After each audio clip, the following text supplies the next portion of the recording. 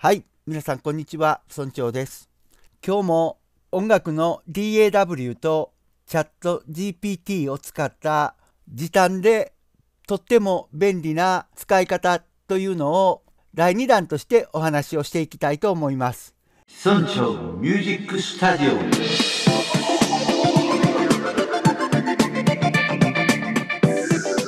第1弾はですね、おかげさまでまだ今も伸び続けています。僕のチャンネルとしてはですね、2日間で800人ぐらいの人が見てくれていますので、とっても調子よくですね、伸びています。概略的にお話ししますと、チャット GPT でコード進行を提案してもらって、それをですね、TEX コード2というソフトで MIDI に変換して DAW の方に持ってくるという一連の流れをご説明した動画が前回の動画でした。それをですね、さらにさらに良くしてですね、こういうやり方をしておけばもっと早いですよというようなお話、それとチャット GPT を上手に使う使い方、これをお話ししたいと思います。チャット GPT 自身のインストールなどは僕も書いてますけれども他の方もたくさんレクチャーしてくれていますのでそちらの方を見てください。難しいなと思わずですねもう世界中が激震していますので皆さんもぜひ使ってください。それでは一番右の端の方に注目してください。え皆さんには小さくて見えにくかったらと思って大きくも書いています。いわゆるコード進行をチャット GPT に聞く聞き方ですね。例えばコード進行を教えてください。ただこれではですね、多分お友達に聞いても、それはキーは何でとか、そういうふうに多分問われると思うんですね。これもそれは一緒です。ここに書いてますように、コード進行でイントロ、バース、コーラス、エンディングの D メジャーキーで各セクションは8小節程度、テトラッドも使ったコード進行を提案してください。テトラッドっていうのは4和音でできた和音のことを言います。3和音、ドミソとかいうのはトラッドと言います。その時、コードの区切りはスペースで、小節の区切りは縦棒でというふうに、このようにすることが一つ重要なポイントです。そう聞きますと、ここに出ていますようなコード進行と、そしてテトラッドも使用するときは、バースをこのように変えればどうでしょうかというふうに答えを出してくれました。僕はこれを見てですね、またこういうふうに投げかけました。いいねと。前回も言いましたように、このいいねというのとっても重要なんです。OK です。でもいいです。なぜかというと、これでやり方は間違ってませんよということを言うために、このいいねは案外重要です。その調子で他のバリエーションもっと。で、ここでこれもポイントです。バリエーションも教えてくださいというような丁寧語はいりません。友達にお話ししてるような感じで話しすることが一番いいと思いますし、海外には丁寧語というのは基本的には普段使われませんよね。名前でもですね、さんとか様とかないのと同じようにですね。ですから、もう本当に友達に聞くように聞けばいいと。そうしましたら、もう一つのバリエーションを提案しますということで、若干コードを変えてくれたりとかします。えー、また、もう少し大きく変えてくださいとか言うとですね、その辺もうまく加味してできるようになるわけです。いわゆる聞き方ですね、えー、普通にパソコン教室とか音楽教室に行っても聞き方って大事です。単純にバイオリンが上手にできる方法を教えてくださいと言えば、あなたはプロになりたいんですかとか、趣味としてやるんですかとかですね、今までの楽器の経験はあるんですか？とか聞かれると思うんですね。ですから、僕は楽器の経験も全くないです。ピアノをちょっとだけ弾いたことがあります。でも、バイオリンは上手になれるでしょうか？バイオリンは今は持っていません。買うんだったらどんなバイオリンを買うかも教えてください。こういうふうな質問が大事ですよね。それと全く同じです。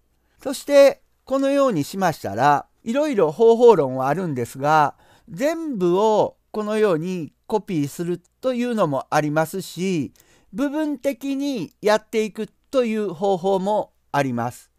それは自由ですが今日は分割してやってみましょう。これがですね TEX コード2というのです。これも無料ですので皆さんもダウンロードサイトのことは概要欄にも貼っておきます。前回の動画を見ていただいてもいいですしこれをダウンロードしてインストールしてください。Windows も Mac も大丈夫です。そこで部分的にやりましょうと言いましたのでこれを貼り付けていきます。この部分ですね。この部分をコピーしましてこちらに貼り付けます。はい。D ばっかしですからまああまり良くないというかですねまあそれは皆さん考えてください。DAW の方でも簡単に変えれるわけですから、あまり深く考えないで、このようにしてみてください。そうしましたら、この右下にエクスポート MIDI というのがありますので、出力していきましょう。今回はデスクトップにホルダーを作ります。そうですね。新たに作りましょうか。新規ホルダーを作りまして、そして MIDI の仮ということで MIDI 添付というふうにしておきます。この中に入れていきましょう。そしてこれはイントロですからイントロとこういうふうな名前にしておきます。次はバースです。これをコピーします。そして貼り付けます。前回の説明を聞いていない方のためにここで再生から再生一時停止というのを選ぶとですね演奏してくれます。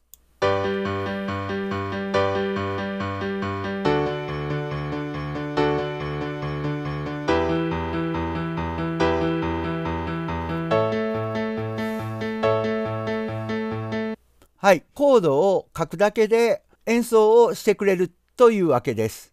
そして同じように出していきます。これはバースでしたので V という名前にしておきます。なるべくちょっと簡素にやっていきたいと思います。次はコーラスです。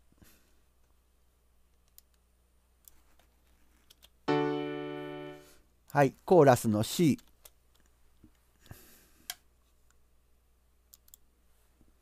はい、エンディング。ちょっと刺す方とかが入ったらどうなるか、ここを押すだけでも音が鳴ります。はい、サスフォーの音が鳴ってますね。これでエクスポート MIDI をします。エンディングですのでエンドとしておきます。これで作業は終わりました。今度は Studio Oneの方に来ます。これは先ほども言いましたように絶対に Studio Oneじゃないとダメというわけではありません。 Studio Oneの場合はこの右端でブラウザーというのを出しましてファイルのメニューを出しますとここでデスクトップを見ることができます。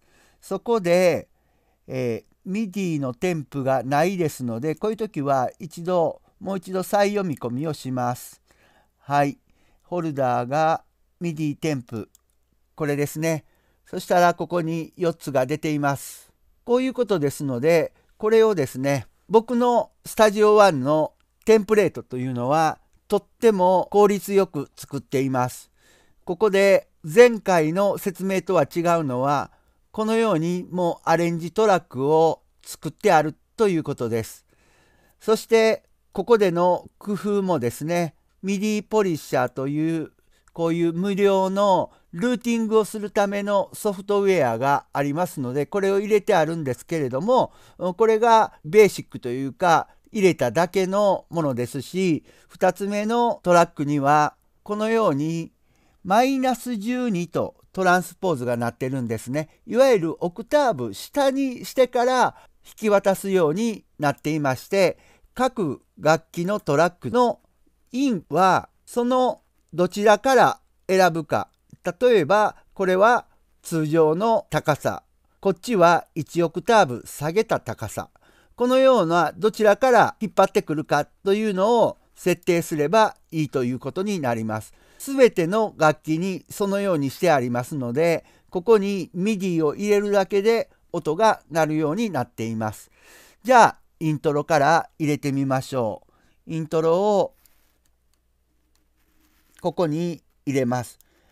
2つ入れる必要はありません。この下側の方のインはここでミディポリッシャーの位置、ベーシックですね。ベーシックの方から入れるようにとしておけば、2つ目のトラックには MIDIを入れる必要がありません。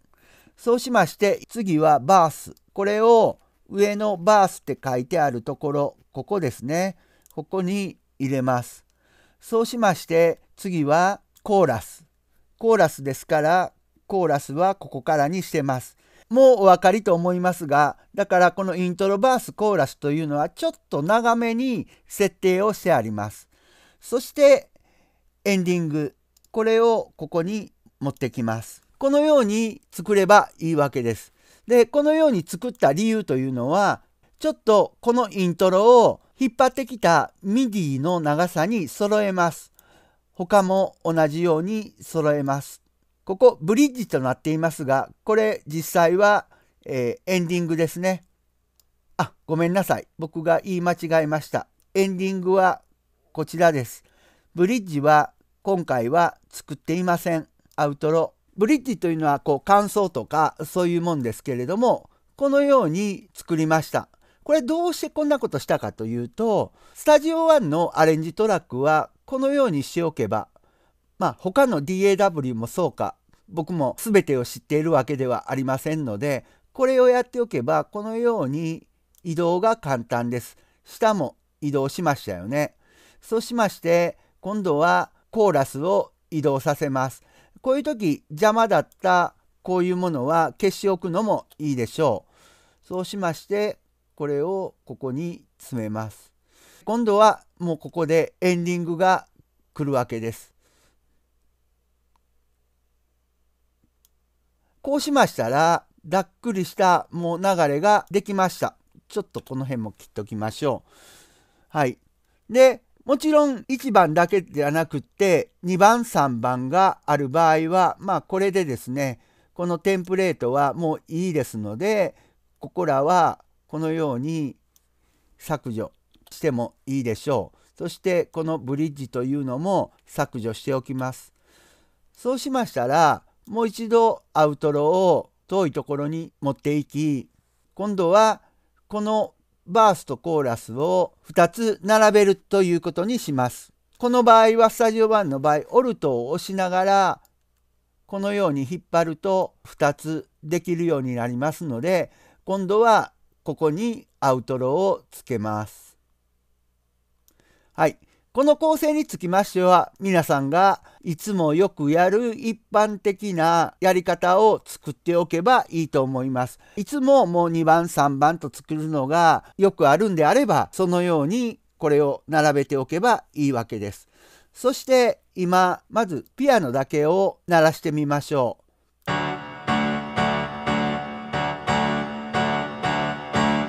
このようになりますがこの MIDI をちょっと見てみましょう。このようにあるんですが、案外下の方にですね、こういうベース音というのがあるんです。ベース音がなぜあるかというと、ここで書き出す時に、ここにベース音というのもやるようにしたからです。こういう時は応用例としましては、ここでできたこのトラックをですね、コードトラックに引っ張り上げます。するとコード進行がこのように出ましたよね。そしてもう一度ですねこれを消してこのコードで和音を作ると。こうしましたらすごくですねこのように単純な3和音もしくは4和音のコードが並ぶわけですね。これでもう一度聞いてみましょう。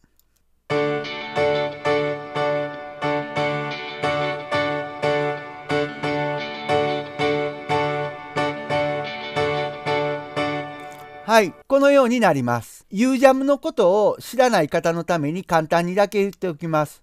ここにピアノの音源がありますけれども、この UJAM というソフトはですね、全音符の和音ですね。それを入れるだけでこのように演奏をしてくれるようなとっても便利なソフトです。ですからここでスタイルというのを選んでその中のまたこの鍵盤ですねこれらを選ぶとフレーズの出方が変わってくるという便利なソフトです。このバースのところでやってみましょう。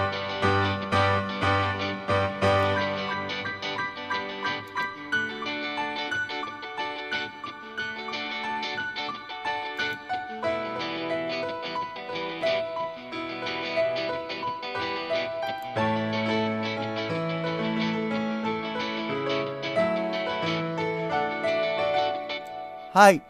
今、この高いところにあったのが分かりましたでしょうか。これでは和音がちゃんと表現しきれない場合がありますので、この先ほどマイナス12の音を作っていたこのミディポリッシャーから音を受けるようにします。このピアノのところをマイナス12これですね。これでやればこのようになります。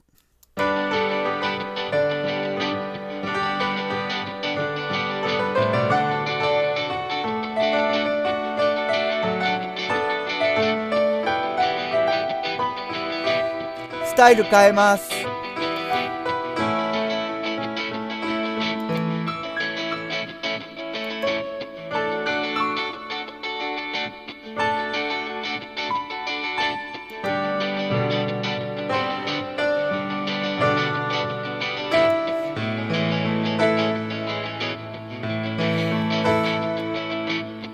はい。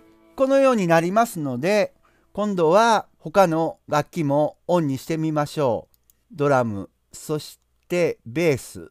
そうですね。今先ほどピアノだけと言ってましたのにギターも入ってしまいましたが、あとはそうですね、シンセサイダーもオンにしてみましょう。そうしますと、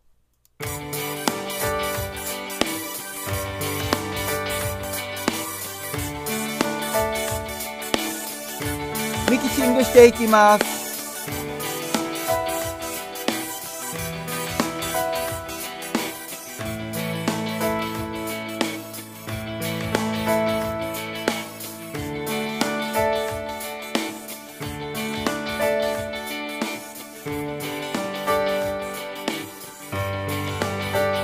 ちょっと違うギターも入れていきます。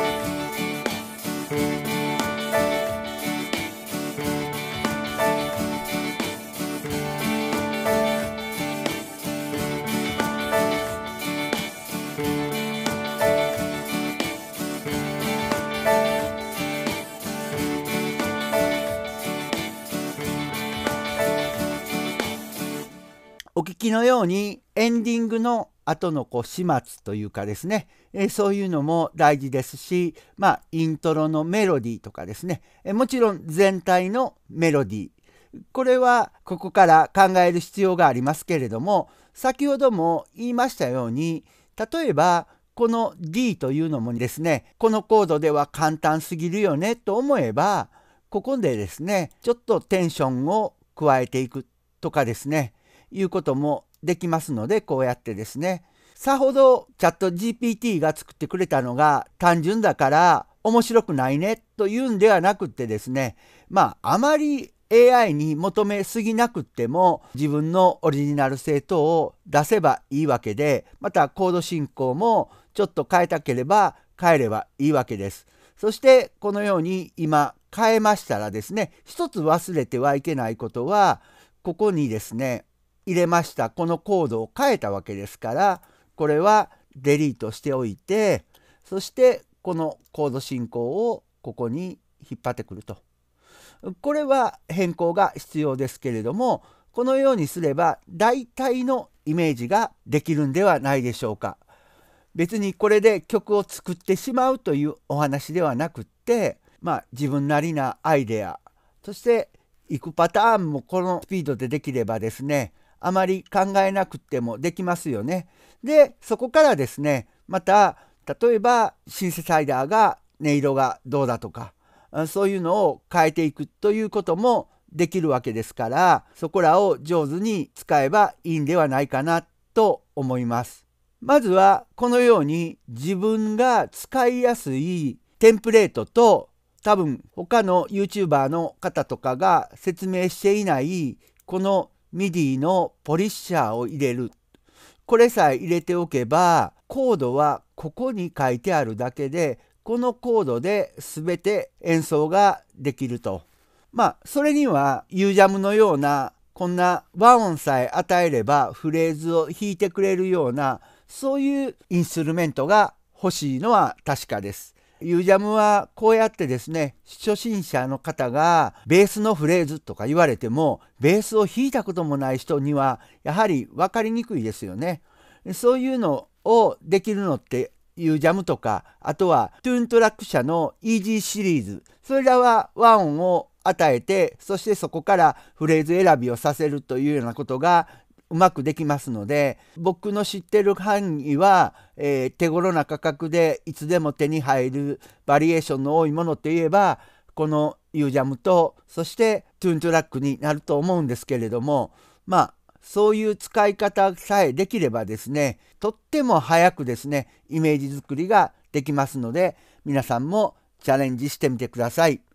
今日はチャット GPT とそして DAW その間にはですね TEX コード2このソフトを挟んでそして MIDI に変換しながら便利に早く使うというね、えー、そういうものの第2弾を皆さんにお伝えしました。